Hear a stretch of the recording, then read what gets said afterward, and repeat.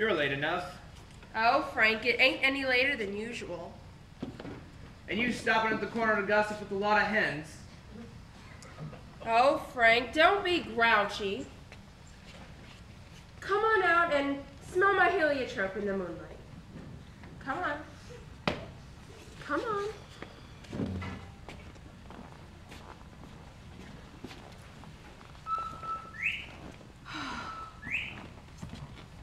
My, isn't that wonderful?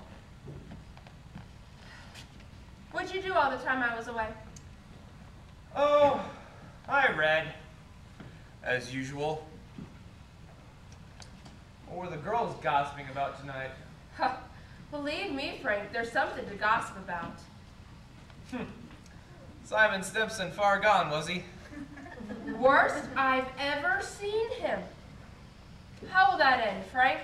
Dr. Ferguson can't forgive him forever.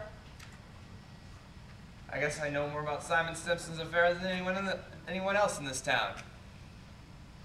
You know, some people aren't made for small town life. I don't know how that'll end, but everyone has the right to their own troubles. Come on, get in. No, not yet. Frank, I'm worried about you. What are you worried about? I think it's my duty to make sure that you get a real rest and change.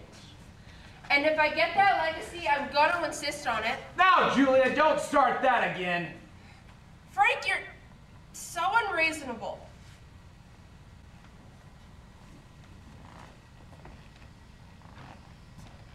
Come on, Julia. It's getting late. You'll catch yourself a cold.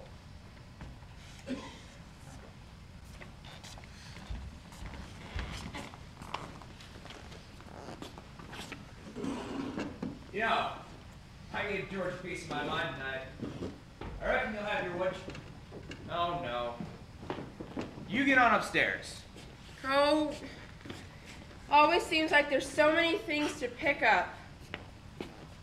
You know, Frank, Mrs. Foster always locks her back door at night. All those people up that part of town do. They're all getting cityfied. That's their problem.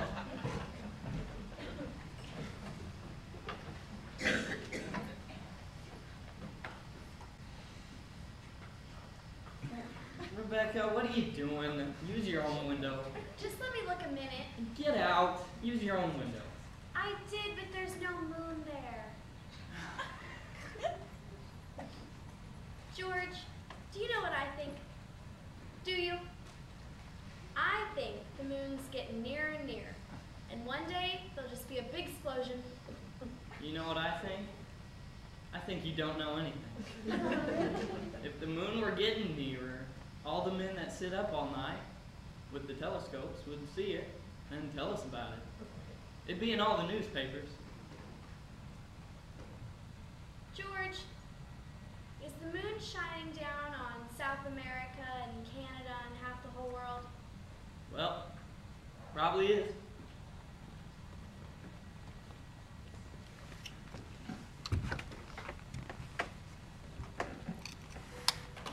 Nine thirty. Most of the lights in town are out. Uh, here comes Constable Warren checking a few doors on Main Street. There's Editor Webb. Coming home after putting his paper to bed. Uh, evening, Bill. Evening, Mr. Webb.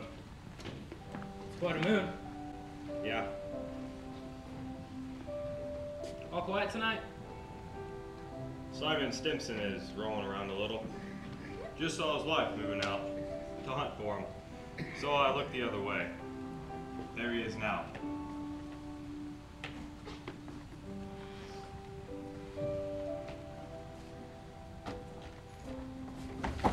Uh, good evening, Simon.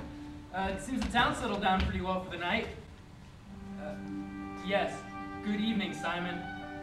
Simon, the town settled down pretty well for the night, and I think we should do the same. Can I walk with you away, Simon?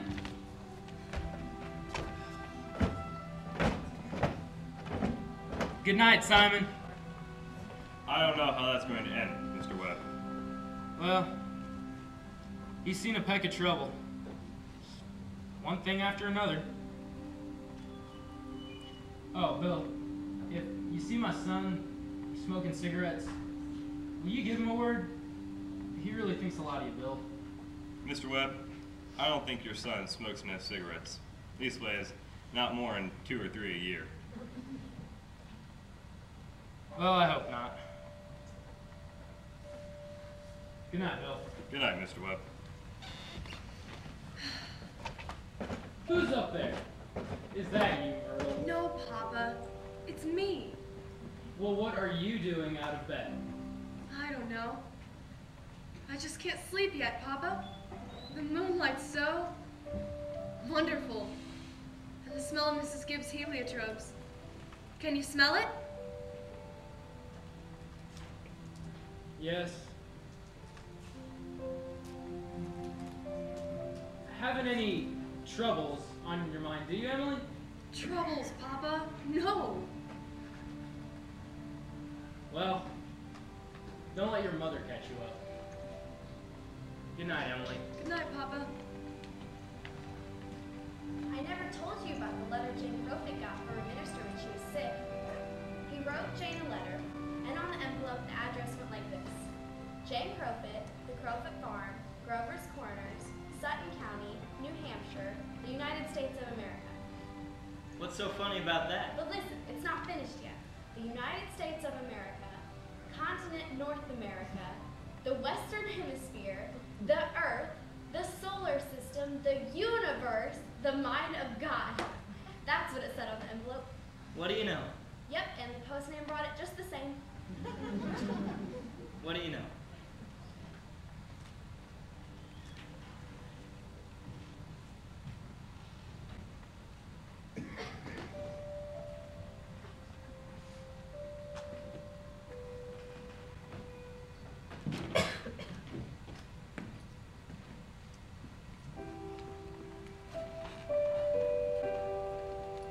It's the end of the first act, friends.